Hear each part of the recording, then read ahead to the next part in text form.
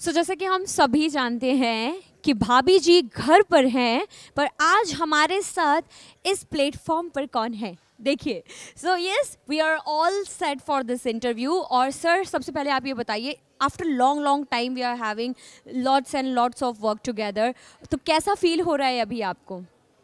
In terms of like people are moving about but धीरे धीरे change तो ज़रूरी था बिकॉज़ दो साल वी रियली वो ऑल व ग्राउंडेड सब घर में थे अपने अपने धीरे धीरे खुलना शुरू हुआ है तो डेफिनेटली अब आदमी तो इंसान तो इज़ अ सोशल एनिमल अगर आप मिलेंगे नहीं, जुलेंगे नहीं तो ज़िंदगी आप कैसे कट जाएगी? तो डेफिनेटली अच्छा लग रहा है, लेकिन हमारी ज़िंदगी तो वैसे ही है because I travel every day one and half hours up one and half hours two hours down so हमारा तो सोशल सर्कल इतना ज़्यादा नहीं है, लेकिन definitely sometimes you go do out go out and you know for these award ceremonies and events and all that but definitely it's, it's a great feeling now that people are getting back to the normalcy so sir ये बताइए like lockdown का सबसे best time the favourite time pass आपका क्या रहा ये हमारे पूरे फैंस जानना चाहते हैं lockdown was like uh, uh, I would say like a blessing in disguise for me because मैं पिछले साढ़े पाँच छः साल से काम कर रहा था non stop and I was hardly any time for my family for my children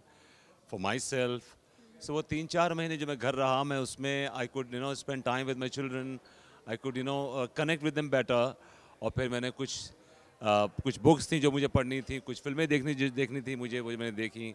So I live those four months like बोलते ना कि होलसम मैंने पूरा उसको जिया है। और लेकिन डेफिनेटली ये तकलीफ़ होती थी कि बहुत लोग सर्वाइव करने के लिए पूरा no they are really struggling to survive and this So much of unemployment and so much of problem but definitely मेरे लिए वो चार महीने definitely was was a bless I would say या सो जैसे कि आज आपको अवार्ड मिला है सर ये अवार्ड क्या है क्या कैटेगरी के लिए मिला है Best actor male fiction.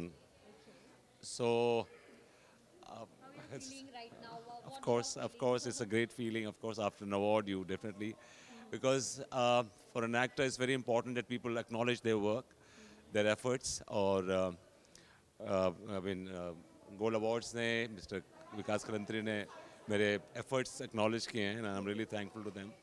Thank you so जैसे कि आपको बेस्ट एक्टर का अवार्ड मिला है सो so, आज हम जानना चाहेंगे कुछ छोटी से स्किल्स ये अवार्ड थोड़ी देर के लिए मुझे दे दीजिए क्योंकि यहाँ पर हम चाहेंगे कि मैं जो भी एक्टर का नाम लूँगी आपको सिर्फ़ उनका एक एक्शन करना है और, और लोग पहचान जाएँ आपको कि क्या ये वो एक्टर है। So first is Salman Khan okay the second is Sanjay Dutt oh my god clap clap clap Amitabh Bachchan Shahrukh Khan? Oh my god ये अवार्ड तुम बिल्कुल सही जगह गए हो। So sir this is yours once again so यहाँ पर जैसे कि हम सभी जानते हैं सर देखिए ये है सिलेब विश सिलेब विश एक ऐसा प्लेटफॉर्म है जहाँ आप अपने फैंस के साथ रूबरू हो सकते हैं बैक टू बैक आप जितने भी क्वेश्चन हैं सबसे आप बात कर सकते हैं। सो so, जैसे कि हमारी पूरी टीम हमारे साथ में तो मैं चाहूँगी हमारी भाभी जी भी हमें यहाँ पर ज्वाइन कर लें। और इन्हें भी अवार्ड मिला है। सो कॉन्ग्रेचुलेशन मैम और अब हम कह सकते हैं कि भाभी जी हमारे साथ हैं। सो so, कैसा लग रहा है? सबसे पहले तो हम ये जानना चाहेंगे कि आपको कैसा लग रहा है।